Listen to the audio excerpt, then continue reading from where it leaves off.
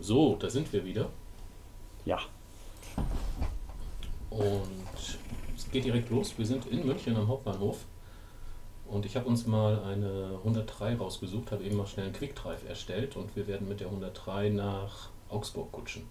Der schönsten Fuggerstadt der Welt. Aufrüsten. So, Batterie ist die angegangen. Jetzt ist er an. Luftdruck ist ausreichend für den Pantographen. Den müssen wir natürlich noch vorwählen. Sorry. Äh, dafür muss ich den Fahrtrichtungswender nach vorne schalten. Pantograph vorwählen. Einmal schnell in den Maschinenraum hüpfen. Mit P das Moped hoch. Ja, ein bisschen gedrückt halten immer die Tasten. Zugspitzensignale an. Ja, braucht eine Ewigkeit. Hauptschalter, ist immer eine gute Idee. Handbremse? Ist der angekommen? Ist der angegangen? Ja. Jetzt ist. Jetzt ist er ausgeschaltet? Ja, jetzt ausgeschaltet, da ist der Schalter. Okay. Ah, das hasse ich, diese Dinger hier. Das ist wie im Flugsimulator. So, ist eingeklappt, Handbremse ist gelöst. Licht ist an, eine ZZA haben wir Gott sei Dank nicht, dann vergessen wir die auch nicht. Führerstandslicht. Vielleicht mal ein paar Leute noch einsteigen lassen. Sehr die SIFA, die PZB. Ja, Jawohl. und die LZB. Mal sehen, ob wir das hinkriegen. Fahren über die Highspeed-Strecke. So, was mit den Fahrgästen? Steigen wir fröhlich ein und zu. Können wir uns ein bisschen hier umschauen. Ja, so kennt man das doch. So, jetzt springen wir weiter. Ne, spring nicht weiter. Doch, jetzt sind wir im Abteilwagen. Sieht aus erste Klasse, ja, die Fahrgäste, die verschwinden da immer. Großraumabteil. Ich denke, hier ist sonst auch immer noch ein Klappstuhl. Ja, ich weiß nicht, wie der jetzt gerade rumspringt hier, wie er lustig ist. Mhm. Ja, egal. Ja, Bistrowagen geht irgendwie nicht, ne? Ja, hast du den mit drin? Ja, eigentlich schon. Gucken wir mal. Das ist, glaube ich, der vorletzte. Ja, Genau. das probieren wir nochmal.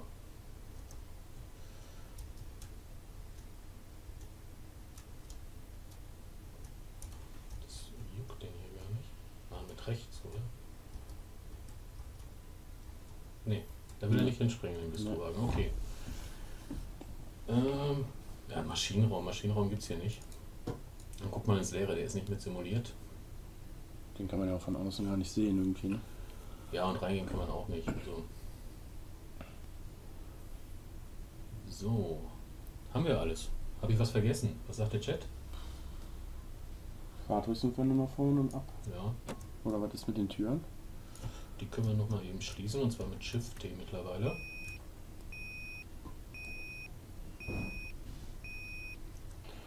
Ja, das ist die lange Version. Das lohnt sich. Muss man unbedingt Geld draufschmeißen, dann kriegt man hier 70 cm mehr Lok.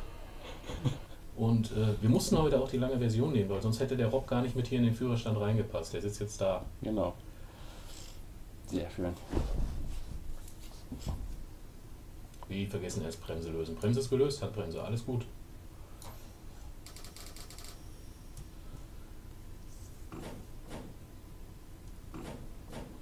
Ja, oder? Oh, oh. Hm. Irgendwas haben wir noch nicht. Ja. Die Lüfter sind auf automatisch. Sind ja auch schon eben angesprungen. Ich habe nichts gehört, aber ich habe auch keinen Ton. Das ist scheiße. Luftpresser machen wir schon mal mit an. Fahrmotorlüfter bleiben auf automatisch.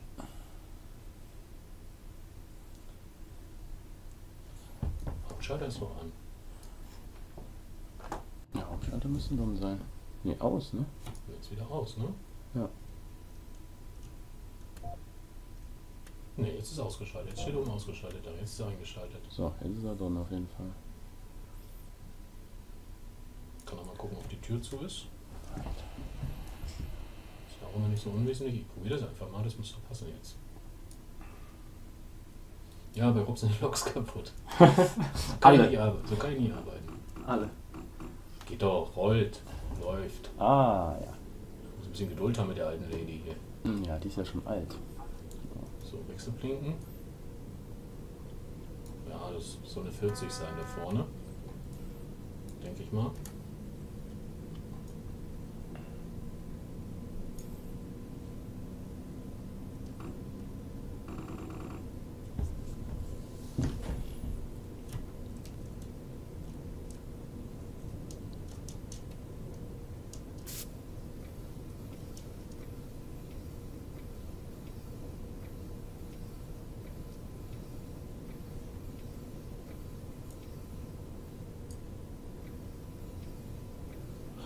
Fenster verschoben.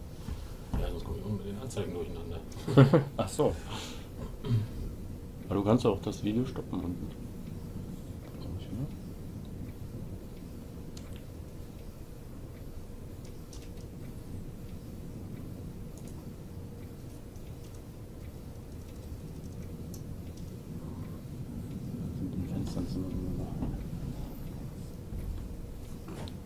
So, 40, komm.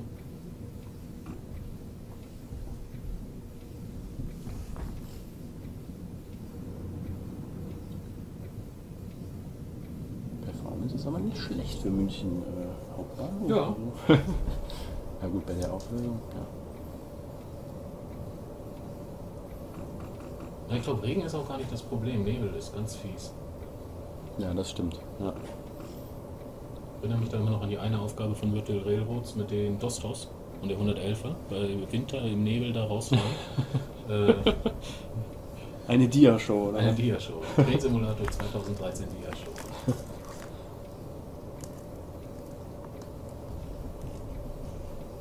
Tiefer. So, ich bin mal gespannt auf die LZB.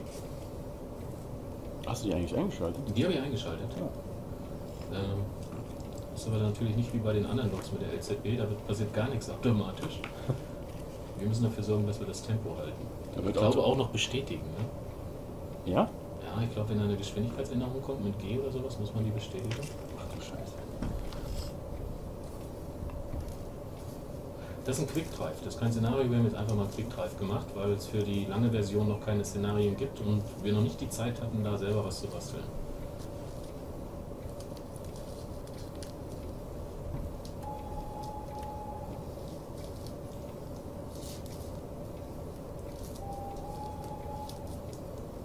Wieso? Was ist denn eigentlich an den Interregio-Wagen schlechter als an den anderen? Kann sein, wahrscheinlich ist da eine Niete zu wenig oder so. Oh, was ist das denn? schön? Was ist das denn?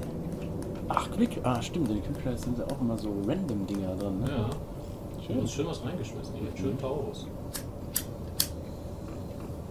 So, ich kann da unten die Geschwindigkeitsbeschränkung gar nicht gut erkennen. Aber ich sehe 120, das passt. Ich glaube, da hinten kommt eine 90-Kurve, ne? Mhm.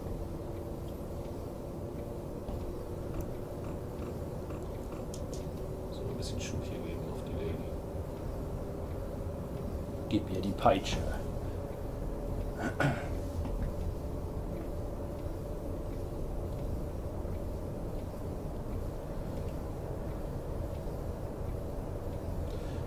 Ja, ich weiß jetzt gar nicht, wie, äh, wie die IR-Wagen von innen aussehen, von RW0381. Äh, aber wenn ihr hier die Lok kauft, dann könnt ihr mittlerweile auch von RW0381 die, das ganze Rollmaterial auch bei VR kaufen. Die haben das in ihren Shop integriert neulich.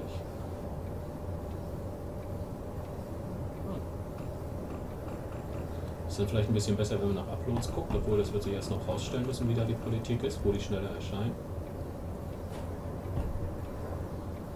Die erst bei RW0381 im Shop da drin stehen oder ist bei oder gleichzeitig bei Virtual Railroads. Wenn die gleichzeitig bei Virtual Railroads drin stehen, hat man halt den Vorteil, dass man an einer Ecke nach Updates suchen muss. Ja, diese Update-Suche ist ja auch immer so eine Sache. Ne? Ja, das ganze Rollmaterial update, up to date zu halten und die Strecken, also Das ist schon manchmal ein bisschen nervig. Ja, ich hab, Jetzt kommt äh, 90, ne? Das, das IR-Bundle, das habe ich auch.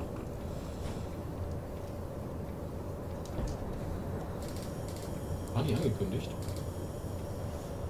Ich hab's jetzt nicht mitbekommen. Oder hast du mir das falsch vorgelesen aus dem Buchfahrplan?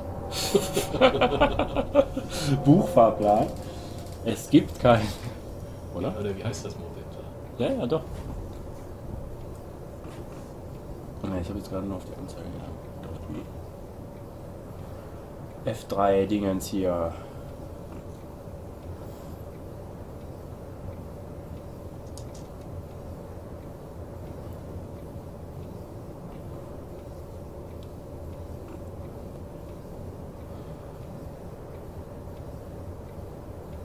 Jetzt wir wieder 120.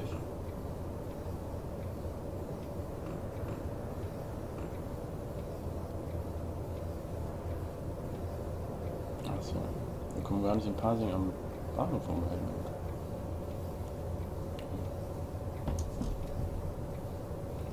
Nur da vorbeikommen quasi. Ja, schon. Aber sonst Durch. geht es ja immer so. Man dann nur so ein bisschen abgeleitet von der Hauptstrecke, ne? Das weiß ich nicht, von der Highspeed-Strecke hier, ob man da auch runtergeleitet wird. Ah, siehst du, da ist ein Band.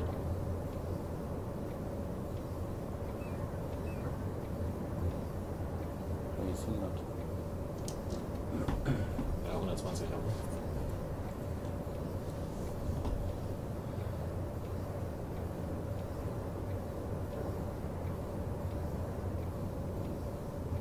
Ja, ist das. Gerade schreibt jemand im Chat. Das Wetter ist so realistisch. Regnet es in München? Muss man direkt mal fragen in den Chat. Das wird nicht besser sein als wie bei uns hier. Ja, aber auch schon den ganzen Tag. Nee, dieses Jahr war ich nicht auf der Gamescom, da hatte ich einen anderen Termin. Äh, nächstes Jahr ist noch ein bisschen Zeit. Musst du ja schon mal frei halten, ne? Im August. Ja, das lasse ich, das lass ich mal noch offen.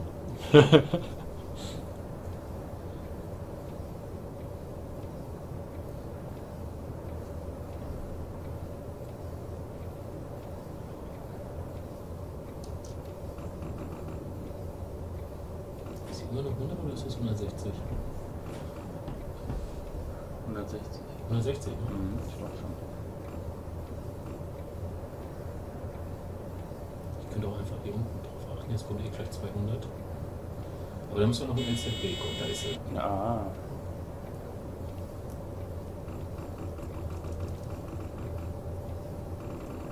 Ich muss ja gestehen, ich bin noch nie LZB gefahren mit der Lok. Ja, ich glaube, ich bin einmal auch schon gefahren. Aber man muss selber die Geschwindigkeiten hier drauf haben. Das macht sie nicht selber. Da man ja auch keine AFB hat. Mhm. Dafür meckert sie dann auch bei 160 rum, wenn keine LZB da ist. Wenn man zum Beispiel Berlin-Wittenberg Ja. fährt, äh, macht die LZB eine Zwangsbremsung. Ja, ja. Das Oder die PZB gehabt, macht eine Zwangsbremsung. Ich weiß nicht, ob ich da eine LZB eingeschaltet habe. Ich glaube nicht. So, 39 Fahrstufen. Unglaublich. 285 mit der Lok, das glaube ich nicht. Steht hier was? 200, da, Kollegen. 200 ist Schluss. Schneller wird nicht gefahren.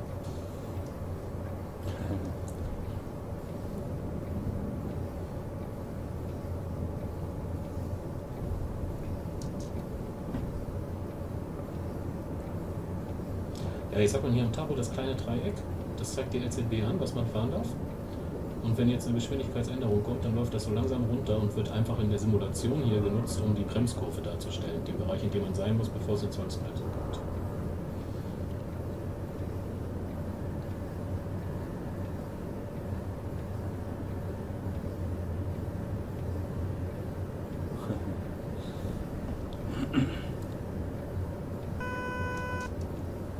Ach, der Chat.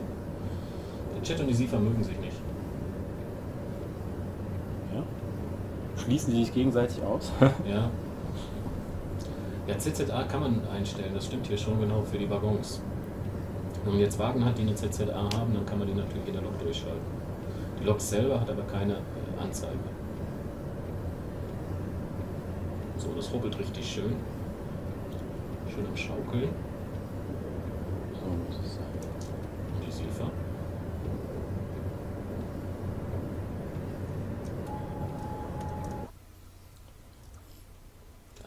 Lärmschutzwände verhindern, dass wir von, von der Seite eine Sicht bekommen. Darum mag ich die Strecke so.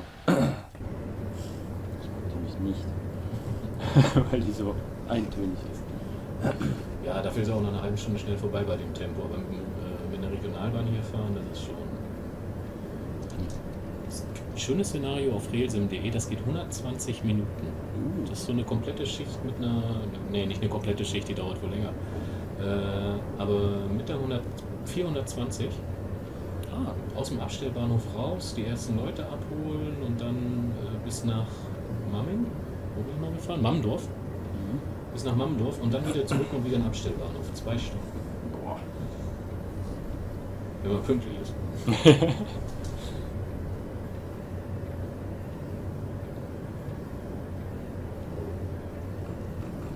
ich schalte schon mal wieder ein paar Fahrstufen runter, weil gleich 180 kommen. Dann einfach mal so rabiat und schalte sie alle runter. Hier links sieht man übrigens, wie, wie die Leistung runtergeht und erst wenn das ganz unten ist, kann man, sollte man vielleicht auch bremsen. Jetzt hat man es klacken gehört.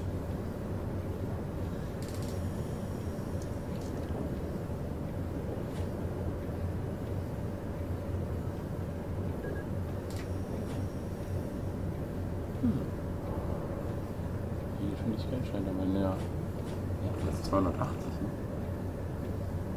280 stand da. Ja. Ja, das kann man auch super Ja, schlecht erkennen. unsere Auflösung ist heute ein bisschen kleiner. Das Einzige, was man lesen kann, ist die 8 so ungefähr. Ja, ist auch weil das ein bisschen transparent ist. Mhm. Ja, Ich mache das, ich mach das immer nicht so transparent. Ich finde das. ja, ist schon stark transparent, ne? Aber sonst nimmt sie halt so viel Platz weg irgendwie. Das ist gut.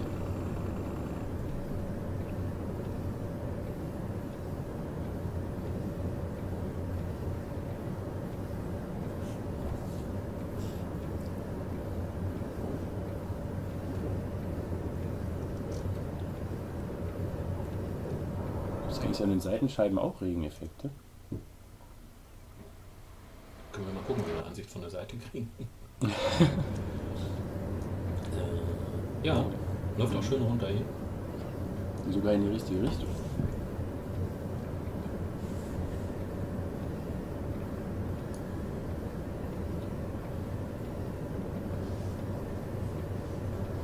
Ich könnte mir das ja ein bisschen größer dann seht ihr wieder nur Instrumente und wir machen Instrumentenflug.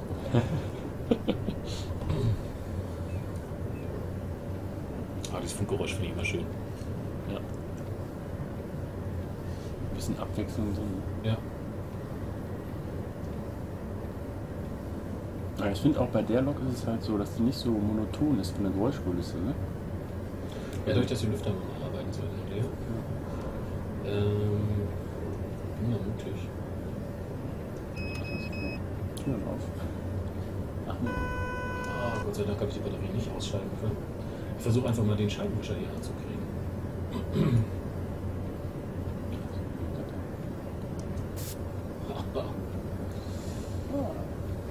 Schön mit C. Mit C. Ja, einfach nur C. Ich glaube, den Speed kann man noch irgendwo anders runterregeln, das Intervall, aber das lasse ich jetzt mal. Aber das ist echt cool, dass sie sich jetzt nicht gleichzeitig bewegen. Also Ja, die laufen verschiedene. unabhängig Genau. voneinander. Ne? Ja. Ich glaube, man kann sogar das Intervall unabhängig einstellen. Das ist echt cool. Ja, ja, Siefer, Siefer, Siefer.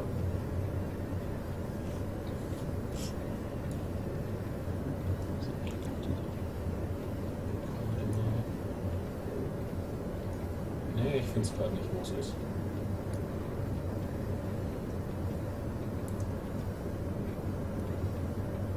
Ah, Steuerung versucht. Dann kriegt sie angezeigt. Das ist jetzt so stufenlos. Und wieder ein Taurus. Mann, hier ist wohl Taurus euch. Habt ihr einen Club? Jetzt könnte man nämlich mit Steuerung V kann man sich seinen, den Nebenscheibenwischer hier schön langsam stellen. Da gucken wir nicht die ganze Zeit raus und der nervt nicht so. Und mit Shift V machen wir unseren wieder High Speed.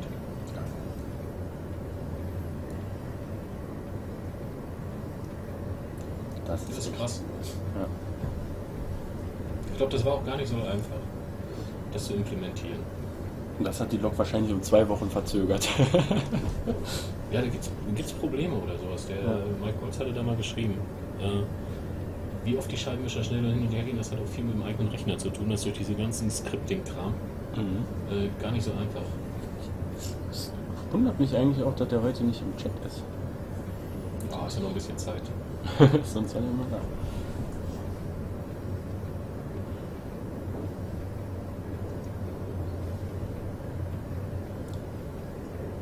Ah, wieder 200, waren wir ja schon. Oh, schöne Brücke. Guter deutscher Beton.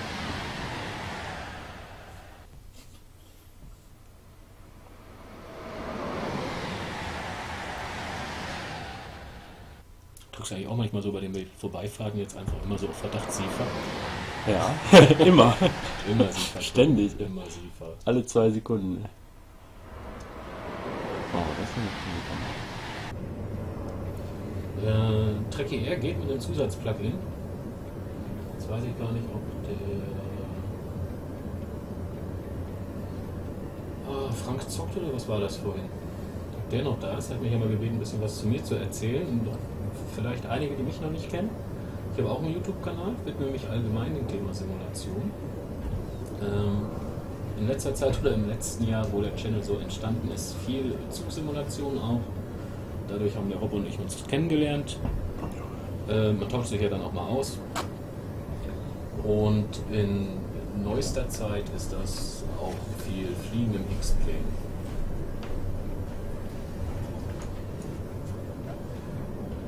Und da komme ich gerade deshalb drauf, wegen der Trek ER-Frage. Ich fahre die meisten Videos, wenn die Unterstützung gerade vorhanden ist, mit Trek ER. Auch im Zugsimulator. Ja, wir kennen dich alle, das sah vorher noch nicht so aus. Im Chat. Wir haben einige schon gefragt und der Rob hat ja wohl zwei, drei Abonnenten, Abonnenten mehr als ich. Aber nur zwei, drei mehr. Ja, Und für die wollte ich das nochmal eben. unwesentlich, unwesentlich. Ah, der Raptus ist da, wie schön. Ha. Cool. Der macht auch immer schöne Livestreams.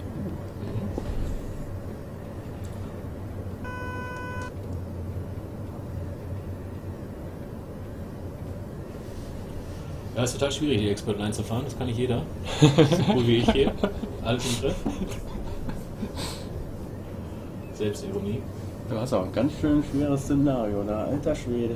Ist eine anspruchsvolle Lok. Ja, ja, ja. Ist halt ein Quick-Drive. Jetzt nicht 50 Mal halten und bremsen, sondern nur einmal bremsen und Ausdruck. ja.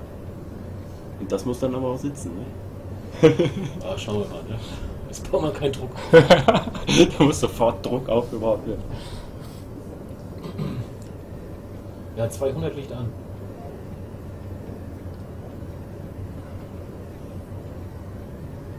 Die will auch gar nicht mehr fahren, die Lok. Gerade. Ich bin in Fahrstufe 39, mehr hat sie nicht, das reicht auch. Ich glaube, so viel hat gar keine andere Lok. 39 Fahrstufen.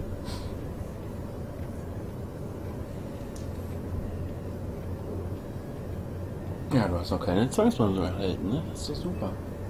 Ja, ne? Guck dir das an, wie schön ist die, die äh, Regentropfen da auf der Lampe. Diese Schatten. Oh, das ist Ja, ne? Also Alter. das, das tut mir immer weh, wenn ich die Schatten abschalten müsste wegen Performance. Ja. Das hat sich ja erledigt, aber äh, das hat mir am meisten wehgetan. Die Schatten machen sehr viel Atmosphäre aus. Auch Mhm. von den Scheibenwischern hier über das Armaturenbrett. ja. Trafo-Umschaltung auf 120. Ja, können wir auf 140 hochschalten, ich glaube, war da eine 120 angezeigt. So, Fahrstufen müssen dafür kurz ablaufen, sonst dürfen wir den Travo nicht umschalten. Und die Lüftung muss komplett an, weil sonst die Nachlaufzeit von den Lüfter zu kurz ist und den Motor äh, überhitzen würden. Jetzt muss ich kurz den Travo suchen. Erstmal die SIFA.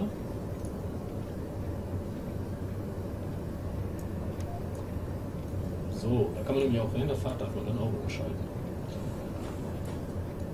Vorher die Fahrstufen runtergeschaltet hat.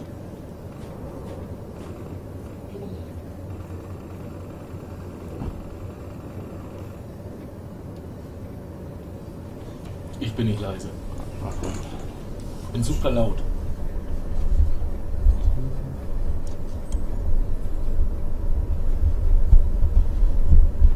Ah, jetzt, jetzt könnte es besser werden. Aber ich glaube, die kommen trotzdem nicht über 200 drüber. Zwangsbremsung hatte ich gestern Abend in meinem Stream. Ich habe gestern mal testenshalber gestreamt, mal zu schauen, wie das funktioniert. Äh, kriegt man durchaus hin, vor allem wenn man viel Chat liest. So, und das ist nämlich genau das. Über 200 meckert jetzt schon die meckert die LZB rum. Ja, ja, ich werde ja langsamer. Die Horn böse ohne. Ja.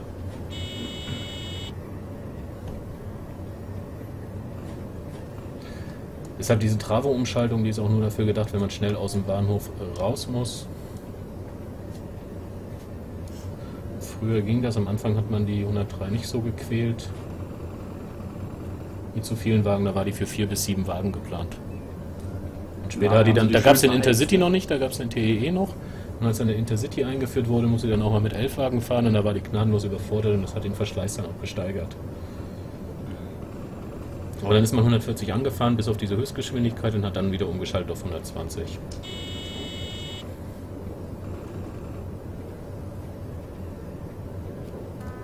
Oh. Jetzt sind wir schon aus der Bremskurve raus, da musste ich mal zwangsbremsen, sonst kriege ich eine Zwangsbremsung, also ohne, ohne zu warten, bis die Leistung abläuft. Ich muss da der Nadel folgen.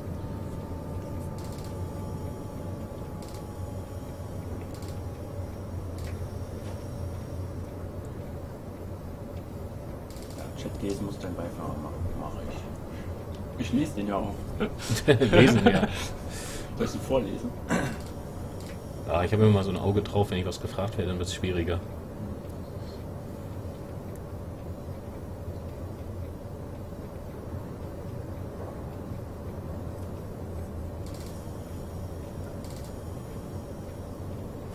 Müssen runter bis auf 100. Das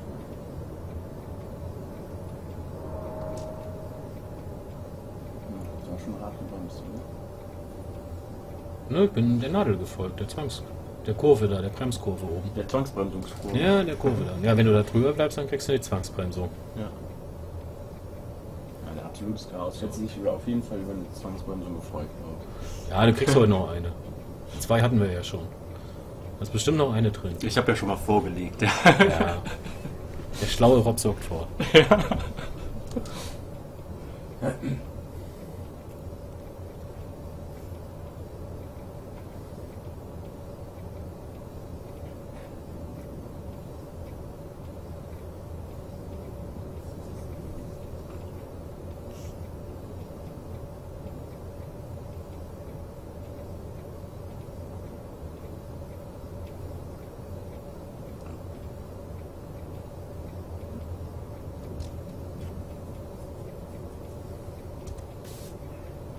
diese enge Kurve hier. Nee, nee, nee. Da haben sich die Bayern wieder dran verbaut, ne? Unglaublich. Oder ja, die Kurve und dann die Brücke. Aber die Brücke sieht nachts gut aus. Ja, das ist, das ist richtig Ne, die ist richtig, ja, richtig schön blau beleuchtet. Wie hast du denn deine Wasserqualität eingestellt? Ich glaube auf niedrig. Wasser braucht doch kein Mensch. Schon mal Hamburg rausgefahren? ja. Links und rechts der Hafen? ja, wenn du die auf hoch hast, dann ist wird das Spiel ab, oder? Nö, Nee? Wasser nimmt nicht so viel. Aber man braucht es halt nie, ne? Ja. Ja gut, dann würde man es wirklich brauchen. Nein, Hamburg ist ja ziemlich übersammeln.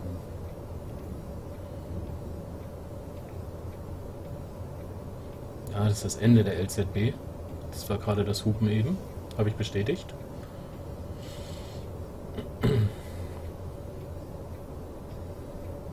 Es hört ja kurz bei der Haunstädter Straße, das hier, was hier als nächstes kommt, hört das ja auf, die LZB. Oder fängt an, je nachdem, wohin man fährt.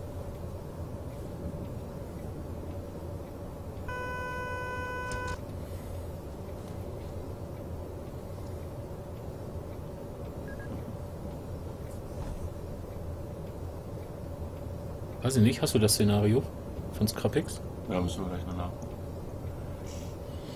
Das werden wir gleich mal checken. Ja. Jetzt kommt das Ende, das bestätige ich nochmal. Vielleicht war ich eben auch nur zu schnell.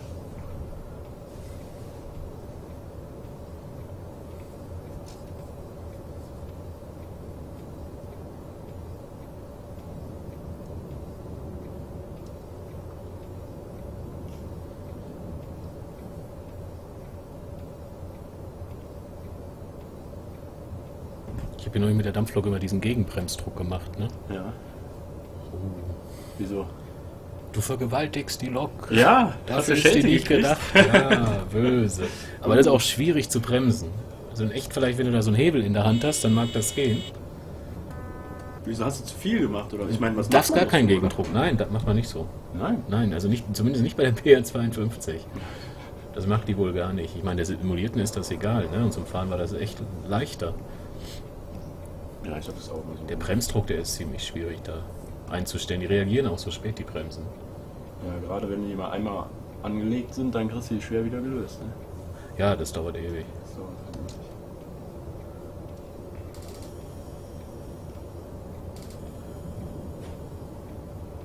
So, Landeanflug.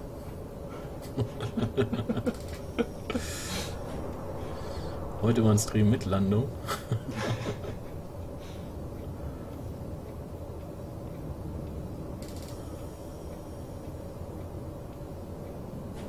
Schutzsignale sehr schön, alles hier verbaut. Ja. Die haben alle hier Vollgas gegeben mit. Die sind, diese Schutzsignale, die sind richtig fies. Ne? Beim ersten Mal habe ich mir direkt eine Zwangsbremsung eingehandelt. Die sind dann auch unter der Brücke. Und dann gab es diese eine ICE-Aufgabe, ICE-3-Aufgabe. Und das übersiehst du einfach. Und dann donnerst du da über so ein kleines rotes Signal. Ja, und dann ist es direkt in. Ne?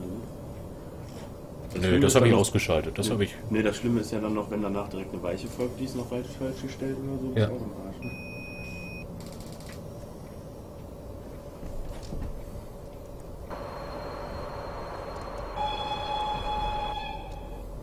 So, alle taub. Hört auch keiner mehr die Durchsage, ob wir pünktlich waren oder nicht.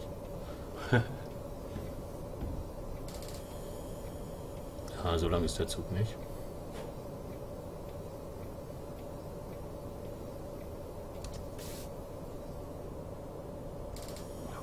Hier. Sanfte Bremsung. Ja, super. Schön die 103.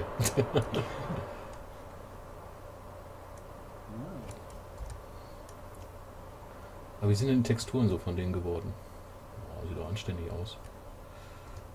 Ist jetzt nicht irgendwie wischiwaschi. Ja, erreicht. Ja. Würde ich sagen, machen wir jetzt so 10 Minütchen Pause noch was? Ja, machen wir 10 Minuten Pause.